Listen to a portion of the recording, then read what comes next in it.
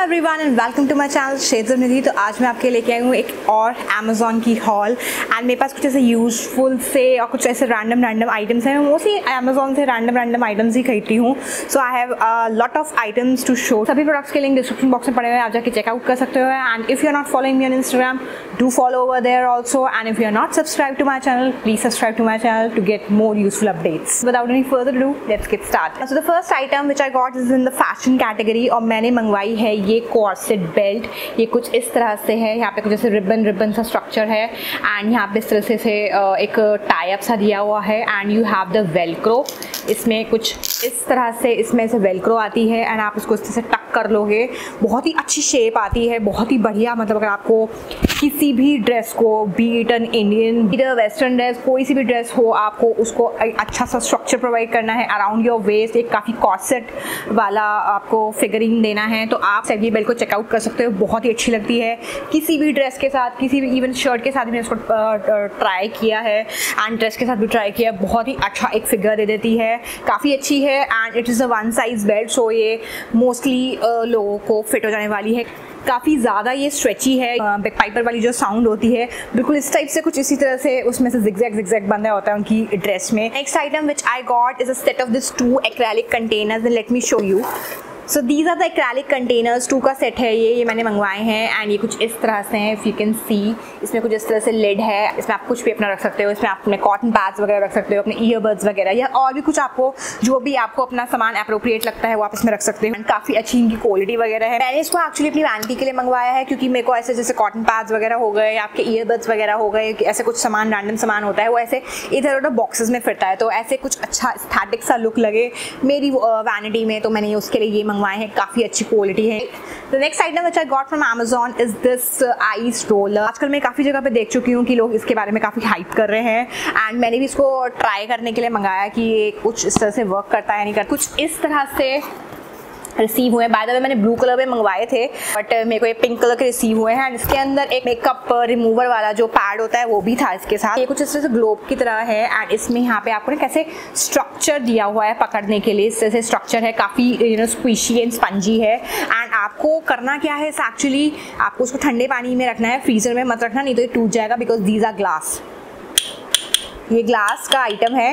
ये plastic and acrylic नहीं है। This is a glass item so you need to keep in a very cold water in the fridge not the freezer and जब भी आपको अपने skin care routine करना हो या कुछ करना हो तो आप मोस्टली रात में कर रहे हो या नाइट केयर रूटीन कर रहे हो, कुछ भी कर रहे हो तो आप उसको थोड़ा सा अपने जो भी आप लोशंस वगैरह लगा रहे हो, जो भी अपनी मसाज अपनी करते हो फेस की तो इसको you need to put in the direction इस तरह से उसमें ठंडे पानी में आप उसको रखोगे तो ये काफ़ी आपको कोल्ड कोल्ड महसूस होंगे and you just need to do some movements like on upward direction and you will definitely feel relax in that मैंने इसको एक्चुअली एक दो बार यूज़ करके देखा है so it's actually it actually feel very relaxing बाकी इसके आगे चल के कितने इफेक्ट्स पड़ेंगे, कितने अच्छे इफेक्ट्स देगा, वो तो आपको कंटिन्यूटी में ही लाना पड़ेगा। अगर आप कंटिन्यू रखोगे तो आपके फेस पे जो इफेक्ट्स दिखेंगे। Item which I got is a very useful item for my kitchen and organising so मैंने मंगवाया है ये आईकिया के stand if you can see ये कुछ इस तरह से हैं। यहाँ पे आपके पास बहुत कम स्पेस होता है, आपके कैबिनेट्स वगैरह में। वहाँ पे ये छोटे वाले मतलब ये पतले, लंबे वाले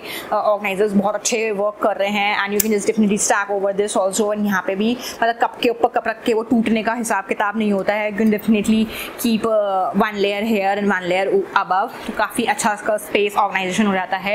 एंड काफ़ी अच्छी क्वालिटी है एंड स्टर्डी भी काफ़ी है। बाय द वे मैंने ये दो का सेट मंगाया है। इस item which I got is huge item this item is a very useful सामान for every girl out there जो लहंगे वगैरह पहनना पसंद करती है या फिर जो गाउन वगैरह पसंद करती है पहनना तो उसके लिए काफ़ी यूजफुल आइटम है। So this is the item which I am talking about ये कुछ इस तरह से है। मैं आपको पास से दिखा देती हूँ। And this is the can can skirt which I got इसमें ऐसे फूलादार बिल्कुल कैन है कैन कैन है। आपको मैं ऐसे जस्टिस तो नहीं कर पा रही हूँ। आपने अगर मेरी शॉर्ट्स चेकआउट करी होगी मैंने इसका शॉर्ट्स डाला था ये किस तरह से वर्क करता है। टिकेटेड अमर है एंड यहाँ पे ऐसे नाड़ा है एंड देन uh, यहाँ पे ना ऐसे वेलक्रो वगैरह दी हुई है जिससे कि आप अच्छे से कमर में टक कर लो। शादी वादी के लहंगे हैं जो आप शादी वगैरह में पहन रहे हो किसी फ़ंक्शन में पहन रहे हो तो उसमें कैन कैन काफ़ी भारी हो जाती है। एंड उसको आपको स्टोर करना लहंगे वगैरह को स्टोर करना बहुत प्रॉब्लमेटिक हो जाता है।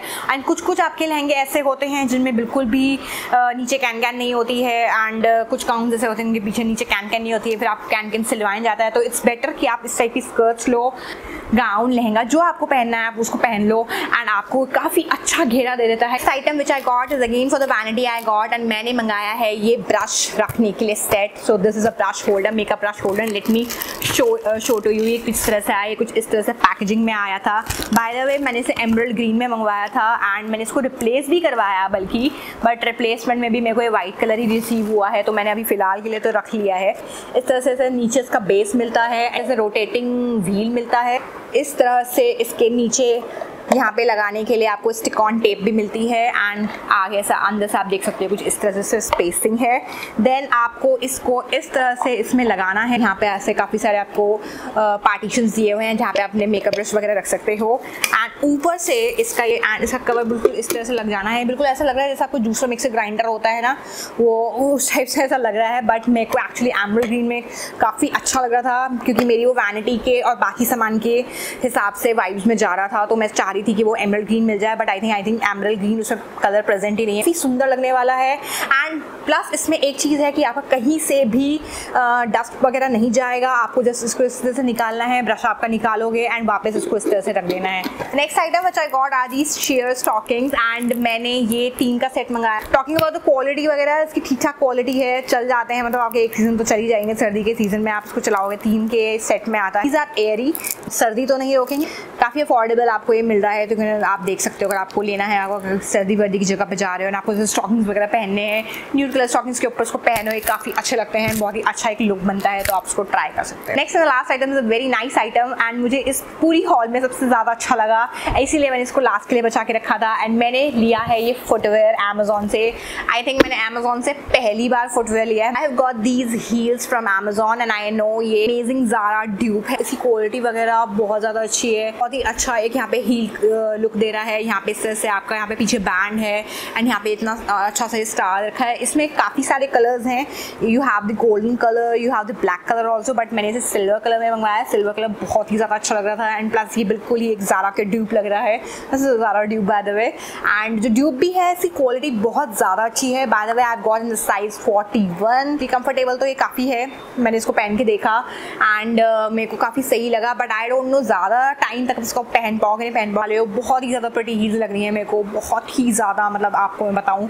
Quality and everything is hundred out of hundred मतलब कोई सवाल ही नहीं है कि इसकी क्वालिटी ख़राब निकलेगी ऑल दैट बहुत ही अच्छा ड्यूट है एंड काफ़ी अच्छा एंड अफोर्डेबल प्राइस में मिल रहा है। आई थिंक ज़ारा में साढ़े तीन हज़ार के आसपास का है if I am not wrong but यहाँ पे आपको ऐसे हज़ार के आसपास में मिल रहा है तो आप इसको देख सकते हो if you are into such kind of beautiful beautiful heels this comes to end of this video and I think काफ़ी कुछ आइटम्स मैंने आपको यूजफुल शेयर किया हो। आपके लिए मैं ऐसी वीडियोज़ बनाती रहूँगी एंड अगर आपको कोई सजेशन देना है तो आप कमेंट कर सकते हो एंड मैं उसी पे वीडियो बनाने की कोशिश करूँगी। And if you are liking my content do subscribe to my channel share with your friends and family it would be very helpful for me and we will meet you next time तब तक के लिए bye